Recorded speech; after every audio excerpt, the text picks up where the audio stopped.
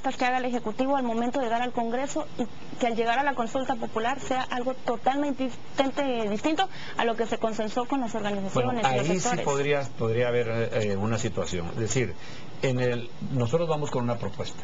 Si el Congreso le cambia el sentido completo a la propuesta que nosotros tenemos, pues nosotros nos tocaría oponernos a eso. Y la forma de oponernos es llamar al no lo cual sería verdaderamente triste que nos tuviera que suceder una situación de estas, porque yo esperaría que en el Congreso se puedan terminar de afinar, porque es la, el eh, derecho que a ellos les corresponde como organismo legislativo. Pero no cambiarle el sentido, ojalá a la propuesta que nosotros estamos llevando. Eh, no sé cuántos cambios ni en qué forma podrán darse, por supuesto va a generar una gran discusión en el Congreso de la República, pero esperaríamos finalmente que vayan en la, en el misma, en la misma línea, aún con, con, los cambios que se tengan que hacer, pero que eso nos permita mantener el sentido de la modernidad que nosotros estamos buscando y que de ahí pasara a la consulta popular. Presidente, usted nos ha dicho ya que esta es una reforma constitucional que se propone cuando no estamos en medio de una crisis y usted tiene ya seis meses de hacer gobierno. Menciónenos un problema que desaparecería a la hora de hacer gobierno si usted consigue que esas reformas pasen a la Constitución. Bueno, es que aquí nosotros, ese es el otro punto, Juan Luis, no estamos buscando la coyuntura, realmente estamos buscando ver hacia adelante. Yo lo que estoy diciendo es, mire, si a los pueblos indígenas nosotros no los tomamos en cuenta, yo no sé si dentro de ocho años o diez años eh, eh, ellos puedan exigir de alguna otra forma las cosas que hoy hemos visto incipientemente que cada día las reclaman más. Exigir una autonomía o incluso una decisión. Por supuesto. Entonces, a esas cosas son las que nosotros nos tenemos que adelantar y esa es la visión que nosotros estamos teniendo. Si las reformas constitucionales, yo puedo pasar los tres años y medio que nos quedan en la presidencia de la República con o sin reformas. Eh, no, le apremia ningún problema para proponer estas reformas. Es decir, que sea de coyuntura no, porque si estuviéramos trabajando reformas constitucionales por resolver la coyuntura, creo que ahí sí estaríamos mal. Eh, la coyuntura la tenemos que resolver nosotros de otra forma. Pero aquí lo que estamos viendo es anticipar, es primera vez que estamos empujando unas reformas constitucionales para modernizar el Estado sin la presión de una crisis y en donde podemos hablar sin que, sin que estemos con la amenaza de que nos está pasando algo. Pero si queremos tener la visión de Estado, pues yo creo que sí es el momento para hacerlo. Pero las reformas no van para decirle, mire, al pasar las reformas eh, yo me voy a arreglar el problema fiscal del Estado. Lo estamos viendo para, para mediano y largo plazo. O me voy a quitar el problema político que tengo ahorita, ¿no? Yo creo que, que, lo que estamos haciendo es, en el tema político, si usted lo mira, lo que estamos haciendo es acercar al elector a la persona que está eligiendo. Eh, especialmente no solo en el tema del Congreso, sino también en el tema de las corporaciones municipales. Esas cosas se pueden hacer vía reforma constitucional y no vía ley electoral y de partidos políticos. ¿Qué cosas se han quedado, presidente, en el tintero que le hubiera gustado que se incluyeran ahí en vez de 50, 60 o quedan para el siguiente.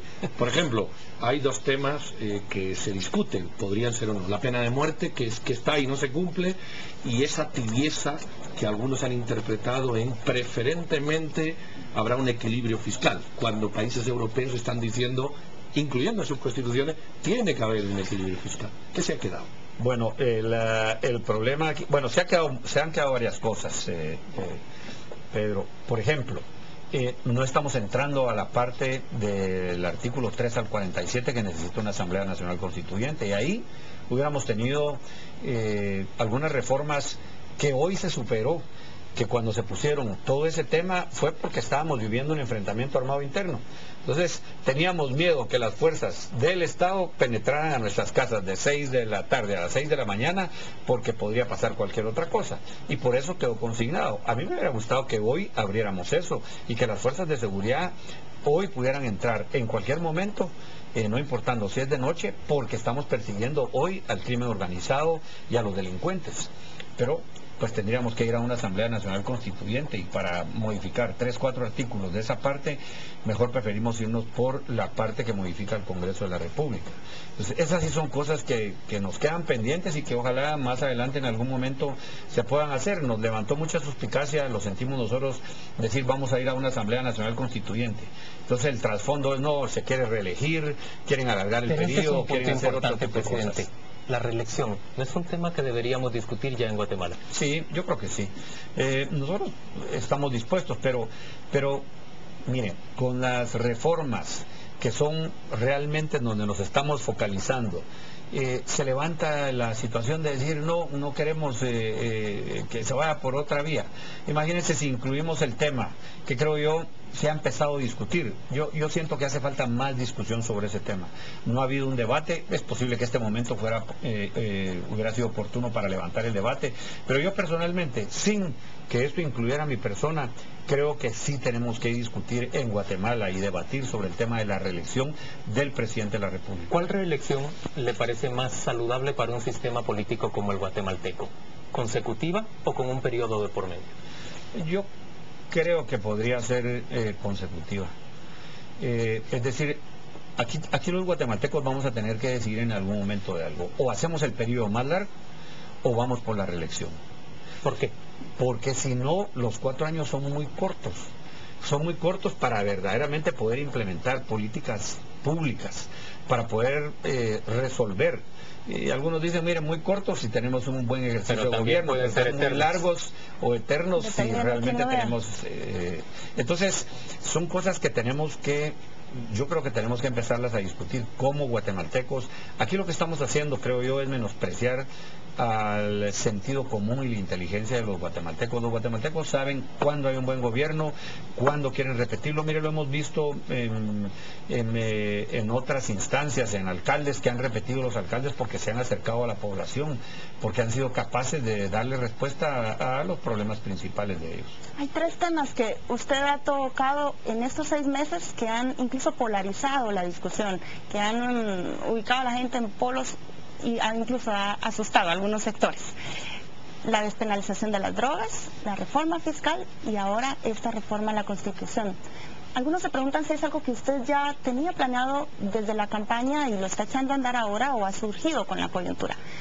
Le pregunto, ¿es algo que usted ya tenía en mente y no lo anticipó desde la campaña? ¿Y qué otras sorpresas podría esperarse la población en este año? Se ríe el presidente. No, eh, yo lo que le digo, mire, estas son cosas que definitivamente no son temas de campaña. Es decir, eh, el tema de la despenalización o la regularización de la droga no es un tema de campaña. Eh, el tema de las reformas constitucionales. No era sí razonable abordarlo, dice usted en campaña. Creo que no era razonable, no, no se convertía realmente en un tema eh, para, la, para la población decir, mire, van a despenalizar o van a regularizar, ¿qué es lo que van a hacer?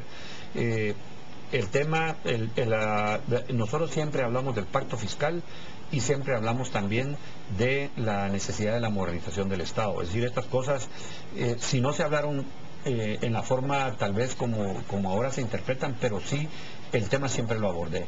Nosotros dijimos, es necesario hacerle reformas al Estado, es necesario modernizar al Estado y para eso está implícito ir a reformas a la Constitución Política de la República.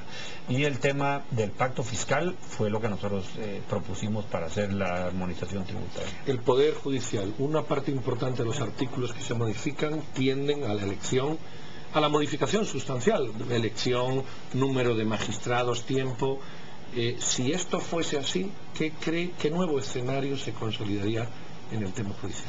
Yo creo que yo creo que tendríamos una mejor administración de la justicia para los guatemaltecos si logramos concretar las reformas como están planteadas. Primero, tenemos 13 magistrados, pero resulta que absorben mucho tiempo la parte administrativa a los magistrados, a la Corte Suprema. ¿Por qué? Porque tienen que estar viendo todo lo que es administración, tienen que estar viendo si rentan o no un edificio, si compran o no un terreno, si construyen o no construyen. Manejo de presupuesto. Todo lo que es manejo presupuestario.